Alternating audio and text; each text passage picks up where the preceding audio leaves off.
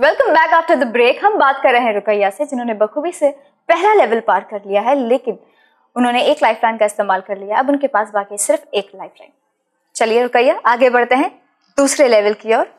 ध्यान से आपके पास सिर्फ़ एक लाइफ लाइन है। ठीक है? चलिए। दूसरे लेवल का पहला क्वेश्चन ये रहा आपके कंप्यूटर स्क्रीन पर। इनमें से कौन सी चीज़ रोज़े को बातिल कर देती है?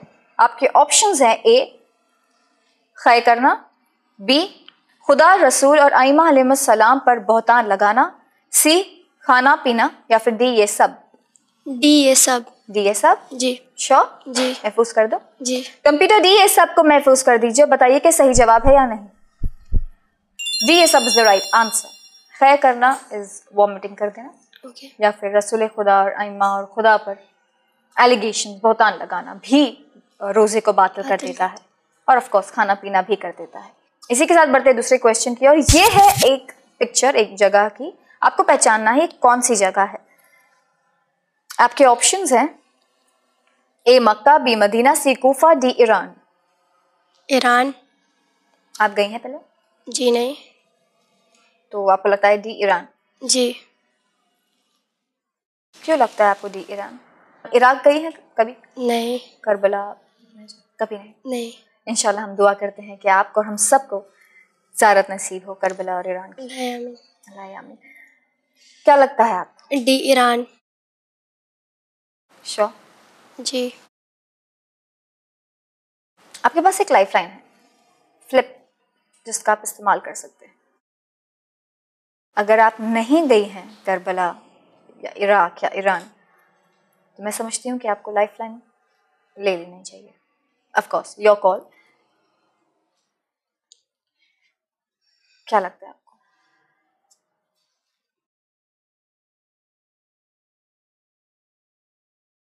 ध्यान से इस तस्वीर को देखिए और बताइए।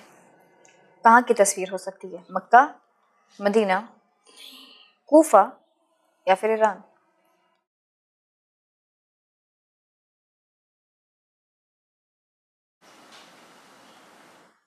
किस जगह की तस्वीर है ये? ईरान ही लग रहा है हमें। आपको ईरान लग रहा है।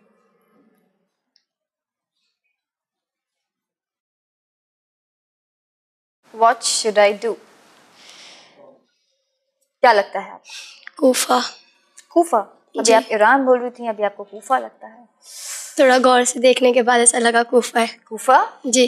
तो क्या करूँ महफूज कर दूँ? जी। कूफे को महफूज कर दूँ? जी। कंप्यूटर से कूफा को महफूज कर दीजिए, बताइए कि सही जवाब है या नहीं। Kufa is the right answer Iran गलत जवाब होता है, ये ईरान की तस्वीर नहीं है। ये कूफे की तस्वीर है, जो है मस्जिद कूफा जहाँ इमाम अली नमाज़ पढ़ा करते थे और जहाँ पर उनको ज़रबत लगी थी, मस्जिद कूफा ये वही जगह है। चलिए, इसी के साथ आगे बढ़ते हैं। अगला सवाल आपके कंप्यूटर स्क्रीन पर रुकैया, ये रहा।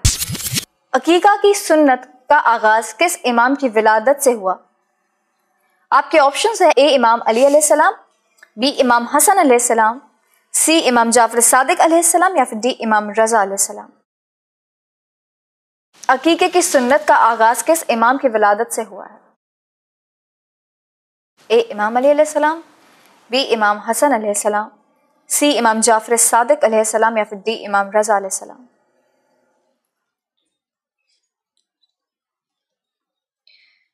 क्या लगता है बी इमाम हसन अलैहिस्सलाम बी इमाम हसन अलैहिस्सलाम जी अच्छा जी महफूज कर दो जी कंप्यूटर बी इमाम हसन अलैहिस्सलाम को महफूज कर दीजिए और बताइए कि ये सही जवाब है या नहीं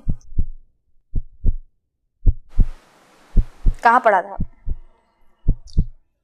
बुक्स में जब हर इमाम के बारे में पढ़ा है तो मौला अली के बारे में तो नहीं पढ़ा है तो इमाम हसन अलैहिस्सलाम के बारे में पढ़ा जी कि अकीका हाँ के बाद उनका नाम रखा गया था।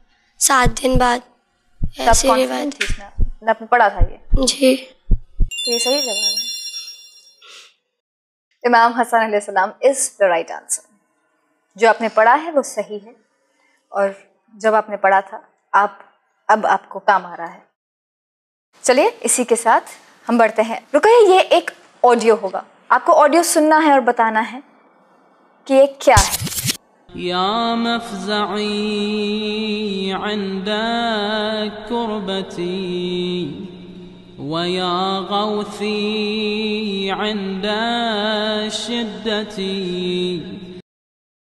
ये क्या है ए दुआए फरज बी दुआए अहद सी दुआए सहर या फिर डी दुआए कुमैल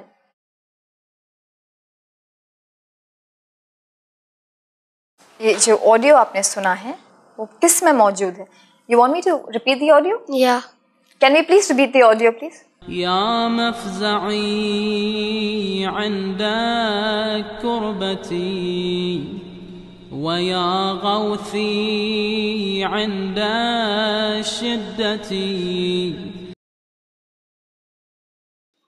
दुआ कुमैल आपको लगता है डी दुआए कुमैल जी आपने बाकी की दुआ भी पढ़ी है? दुआए फजर दुआए अहद दुआए सहर?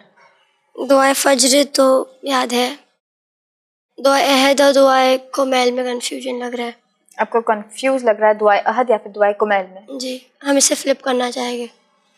आप इसे फ्लिप करना चाहेंगे? जी। कंप्यूटर रुकैया फ्लिप लाइफलाइन का इस्तेमाल करना चाहेंगी तो ये सवाल को फ्लिप कर दीजिए। हमारे सामने एक नया सवाल पेश कीजिए। लेकिन जस्ट इन केस अगर आपको गेस करना होता है क्योंकि हमें हमारे ऑडियंस को बताना है कि सही जवाब क्या है। तो आप किसे कहती दुआ अहद। दुआए अहद। जी। देखते हैं सही जवाब होता है या नहीं। कंप्यूटर बी दुआए अहद को महफूज कर दीजिए और बताइए कि सही जवाब होता है या नहीं। ये गलत जवाब होता। This was a wrong answer सही जवाब है दुआए सहर। अच्छा किया आपने जो फ्लिप कर दिया। ना ही ये दुआए कुमैल है ना ही ये दुआए अहद। ये थी दुआए सहर। अच्छा डिसीज़न था आपका आपने फ्लिप कर दिया। चलिए तो फ्लिप हो गया। अब देखते हैं कि नया सवाल आपके कंप्यूटर स्क्रीन पर क्या है। इनमें से वो कौन सी चीज़ है जो रोजेदार के लिए मकरू है? आपके ऑप्शंस हैं ए आँखों में दवा डालना और सुरमा लगाना। बी तर लकड़ी से मिसवाक करना। सी जो लिबास पहन रखा है उसे तर करना या फिर डी ये सब? डी ये सब। श्योर जी। महफूज कर दो? जी। कंप्यूटर डी ये सबको महफूज कर दीजिए बताइए कि सही जवाब है या नहीं।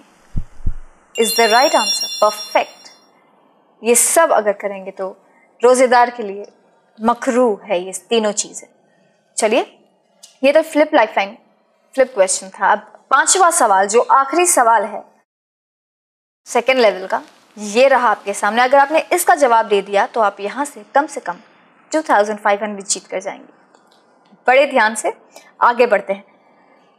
ये रहा आपका पांचवा क्वेश्चन अगर दूध पिलाने वाली औरत के रोजा रखने की वजह से बच्चे को नुकसान पहुँच रहा है तो उस औरत पर रोजा रखना कैसा है? आपके ऑप्शन है ए वाजिब नहीं है बी मुस्तहब है सी मकरू है या फिर डी इनमें से कोई नहीं। ए वाजिब नहीं है। ए वाजिब नहीं है? जी। महफूज कर दूँ? जी। चलिए। कंप्यूटर ए वाजिब नहीं है कि महफूज कर दीजिए। बताइए कि सही जवाब है या नहीं। Perfect it's the right answer ए वाजिब नहीं है जो औरत दूध पिलाती है अगर बच्चे को नुकसान पहुँच रहा है तो उसके लिए वाजिब नहीं है रोज़ा रखना। चलिए बहुत खूब। इसी के साथ हमारा दूसरा लेवल कंप्लीट होता है रुकैया। कॉन्ग्रेचुलेशन थैंक यू अब हम बढ़ते हैं हमारे थर्ड जो आखिरी लेवल है। आपके पास कोई लाइफ लाइन नहीं है। अभी ठीक है? लेकिन उससे पहले हमें एक छोटा सा ब्रेक लेना होगा। ठीक है? नाजिन don't go anywhere will be right back after the break